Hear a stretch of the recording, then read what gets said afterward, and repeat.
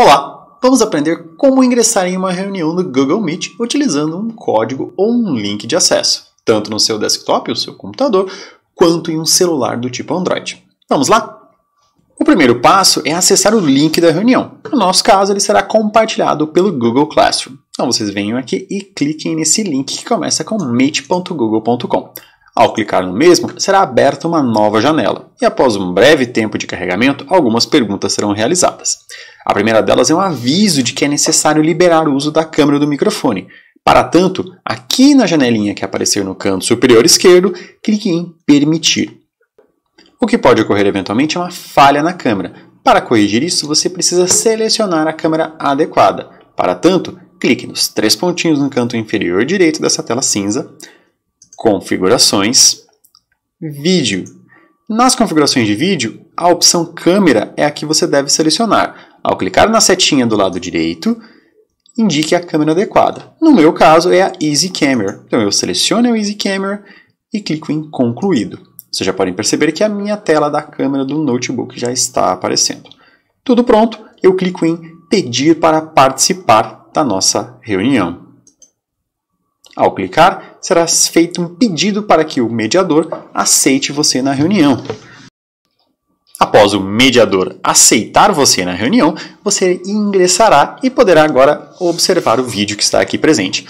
Nós temos no centro da tela a nossa câmera do correspondente do outro lado, e aqui no canto superior direito você consegue ver a sua própria câmera, certo?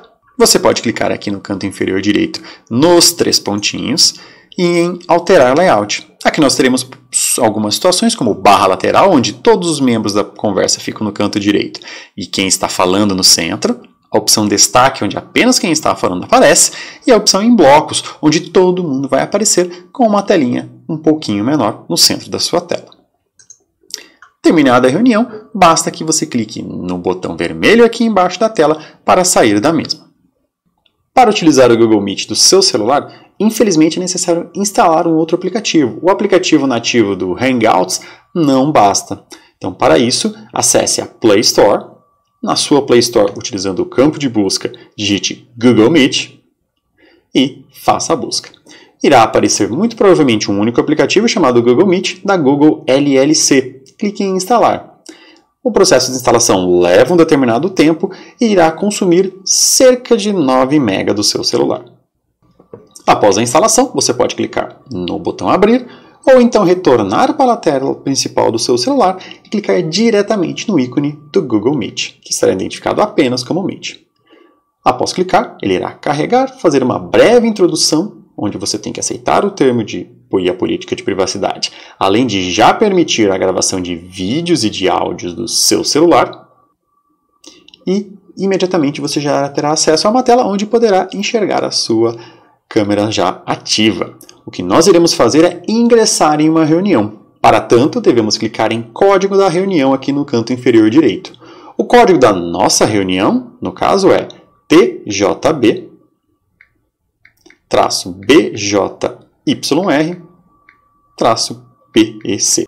Esse código vai mudar todas as vezes e ele é o que vem depois do link meet.google.com, do link para acesso diretamente no computador. Com o código digitado, clique em Participar. Ao clicar em Participar, você será adicionado nessa reunião. Como nós podemos ver aqui, nós já temos a tela do nosso correspondente do outro lado e aqui no canto inferior nós estamos já aparecendo. Caso tenha interesse em silenciar seu microfone, clique no meio da tela e no microfonezinho aqui no canto esquerdo.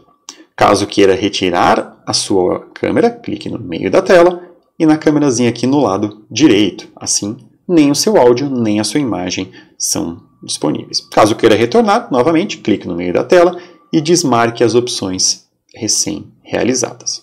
Para finalizar a chamada, clique no meio da tela e depois no telefonezinho vermelho central. Pronto, você já estará desconectado e poderá avaliar se a chamada apresentou boa qualidade.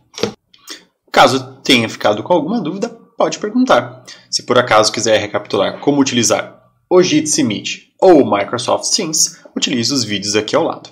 Até mais!